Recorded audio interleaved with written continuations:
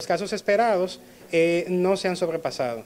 Pese a que los casos de dengue registrados a la fecha superan las cifras de igual época del pasado año, en el país no se puede hablar ni de brote ni de epidemia.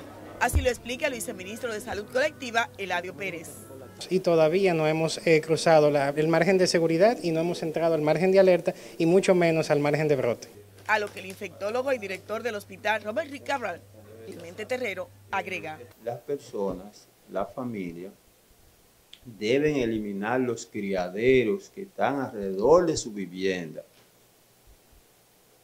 y eh, también eh, eliminar desechos. Resaltan que la higiene es fundamental para contrarrestar los casos de dengue. El viceministro de Salud Pública dice que también dan seguimiento a varios casos de malaria detectados en diferentes puntos del país. El doctor Eladio Pérez dice que los médicos deben estar atentos a los casos que les lleguen.